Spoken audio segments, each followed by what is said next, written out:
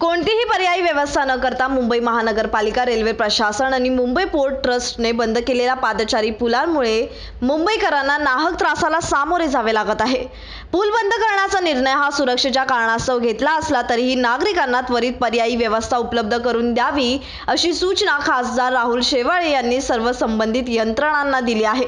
गुरुवारी खासदार राहुल शेवाळे यांनी संबंधित यंत्रणांच्या वरिष्ठ अधिकाऱ्यांसोबत दक्षिण मध्य मुंबईतील बंद केलेल्या पादचारी पुलांची पाहणी करताना अधिकाऱ्यांना या सूचना दिल्या.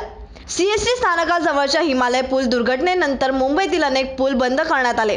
यामुळे नागरिकांना मोठ्या प्रमाणात त्रास सहन करावा लागत आहे. त्यामुळेच खासदार राहुल शेवाळे यांनी संबंधित यंत्रणांच्या वरिष्ठ अधिकाऱ्यांसह वडा रेल्वे स्थानक पादचारी पूल किंग सर्कल स्थानकाजवळील पादचारी पूल दादर फुल मार्केट जवळील पूल यांची पाहणी केली. वडाळा पूर्व रेल्वे स्थानकाबाहेरील सुमारे एकशे पन्नास मीटरचे दोन पादचारी पूल धोकादायक ठरवून गेल्या चार महिन्यांपासून रेल्वे आणि मुंबई पोर्ट ट्रस्टने बंद केले आहेत. यामुळे वडाळा पूर्वेच्या संगमनगर कोरबा मिठानगर बीपीटी वसाहत येथून वडाळा स्थानकात येणारे सुमारे पाच लाख नागरिकांची मोठी गैरसोय होत आहे.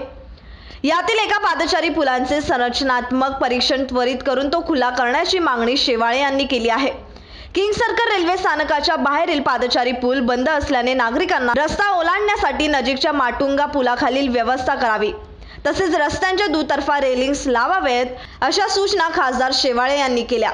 दादर रेल्वे स्थानकावरील फुल मार्केट पुलावर प्रवाशांची होणारी गर्दी लक्षात घेता या पुलाचे रुंदीकरण करावे तसेच गर्दीच्या वेळी येथे गर्दीचे नियमन करण्यासाठी रेल्वे पोलीस तैनात ठेवावे अशी मागणी खासदार राहुल शेवाळे यांनी रेल्वे प्रशासनाकडे केली आहे. ऐसे ही मुंबई महाराष्ट्र और देश की तमाम खबरों को देखने के लिए आपका न्यूज़ को सब्सक्राइब कीजिए लाइक कीजिए और बेल आइकॉन का बटन दबाना ना भूलें।